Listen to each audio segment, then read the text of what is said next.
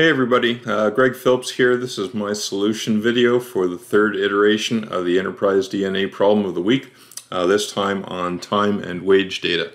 Uh, I'd just like to take a moment to congratulate everybody who participated in this problem of the week and thank everybody for their comments. I know that the Power BI community is going to be richer for it. Um, I also hope that you were able to uh, find this project problem engaging and that the descriptions of the solutions that others found uh, proved illuminating for you. Okay, so to start, let's navigate to the, uh, open a browser and navigate to the Enterprise DNA forum and the problem of the week category, uh, which you can find here. Just scroll down and where is it here?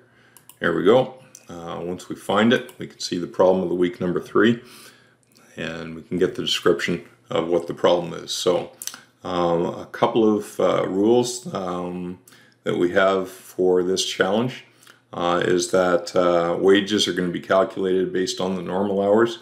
Up to eight hours a day are going to be paid at straight time. Overtime hours above eight hours per day or on weekends are going to be paid at time and a half. And holiday hours are going to be paid at double time. Um, so let's get started here. How I solved it. I'll switch over to Power BI. And for me, I started with the calculated column solution first. So we'll have a look at that. Um, just to, to note, I've added a few basic slicers up here, uh, reset slicers button and bookmark uh, for me to, to help my development. And I've also uh, chosen the uh, storm theme. I'm on a bit of a blue kick these days. So, um, so here, so the first thing I did was um, I'm going to go to the uh, timetable and I'm going to calculate a formula to calculate the regular hours. So what I have here uh, is I, uh, actually before I get started I'll mention a couple of, couple of things. Um, I always try to um, use many variables and I always prefix my variables with an underscore. It kind of makes it easier for me to read my code and also means that I don't accidentally choose a column by mistake when I'm using the built-in IntelliSense in the DAX editor window. Uh, the other thing I like to do is I like to hold control and roll the mouse wheel and I can increase the size of the, the text in the wheel, or sorry, in the DAX editor window uh, for me to use anytime. So here we go. Um, all I'm doing is getting the hours from the table, putting it into a variable, and then I'm calculating some booleans uh, for um, if it's a holiday day, if it's a weekend day or if it's a regular regular day. Sorry, I'm leveraging a data model to determine if it's a holiday or a weekend day and then I'm using um, the two values I've already calculated in order to determine uh, the third one. Finally, I'll use a switch true statement where I'm checking for uh, the regular hours uh, the other twos are going the other holiday, sorry, and weekends are going to be blank. And if it's a regular day, I want to return the hours up to eight hours. And then I'll use the return result construct.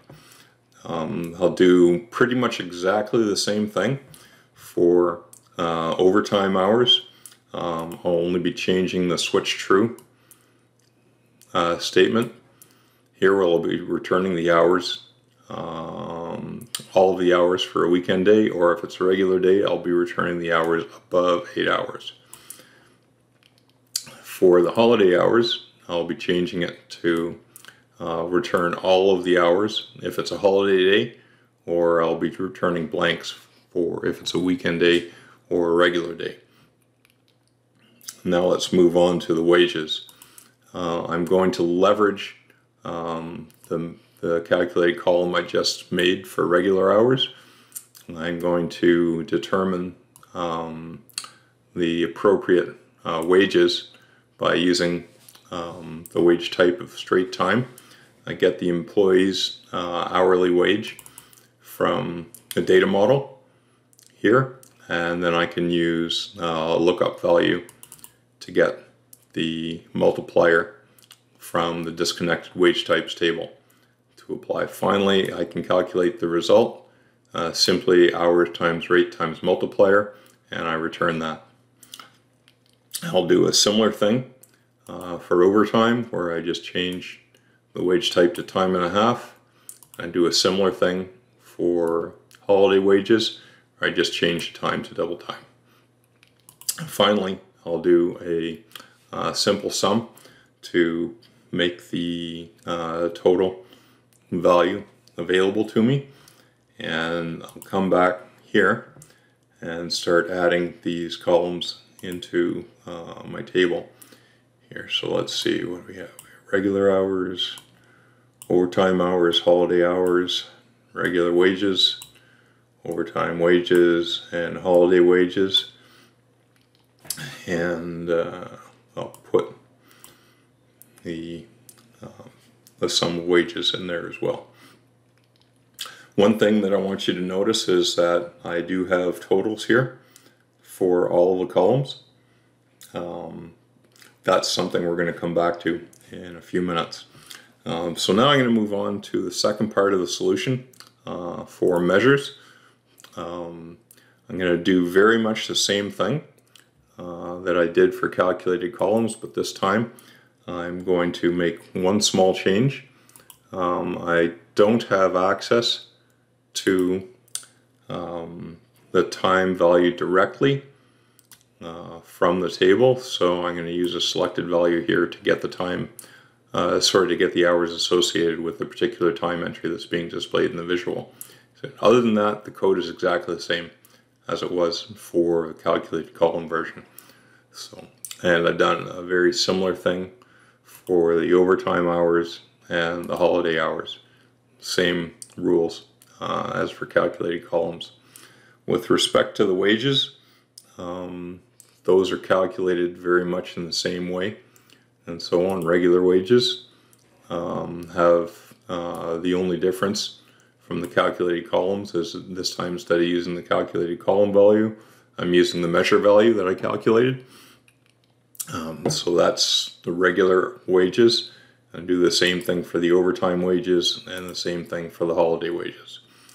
Then I'm going to write a, um, a simple sum uh, measure for the total wages. And now let's add those into, um, into tables. So regular hours, overtime hours, holiday hours, regular wages, overtime wages, and holiday wages. So they all come in uh, fine. I'm also going to add in my total wages as well. And here's where uh, one of the points I want you to notice. By default, uh, none of those values, or sorry, none of those measures that I added came up with um, totals. So what I'm going to do is I'm going to take a copy all my measures here.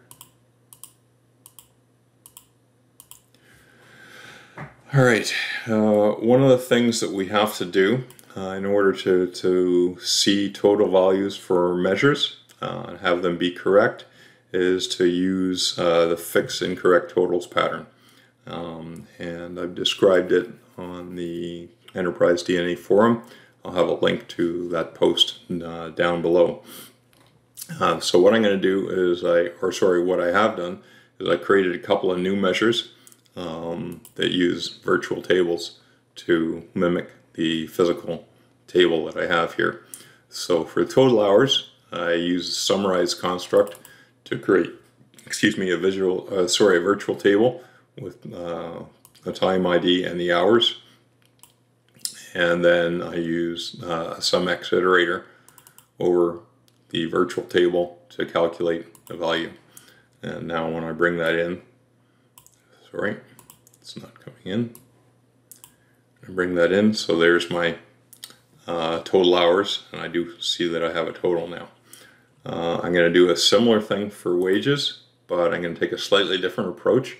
Uh, this time, um, instead of uh, calculating it for everyone, uh, I'm just going to calculate it for the total. Uh, so again, I use a summarized construct over the timetable, and I create this time an exact uh, mimic of my physical table. And uh, I'm going to use the add columns construct uh, around the summarize to create a, uh, an additional column for total wages where I'm leveraging the measure that I already calculated. Um, and now when I come down to the result, I'm going to use uh, my measure that I've already calculated uh, if I'm on an individual time row, or I'm going to use uh, SumX iterator over my virtual table if I'm on the total row. So that all uh, works. Now that I add that in, I can see that now I have my wages and I do have my total value as well. Uh, one of the other differences, uh, I forgot to add this in for the calculated column, but uh, you can see this as well. Let's put a, uh, a simple bar chart in for, um, for the measures.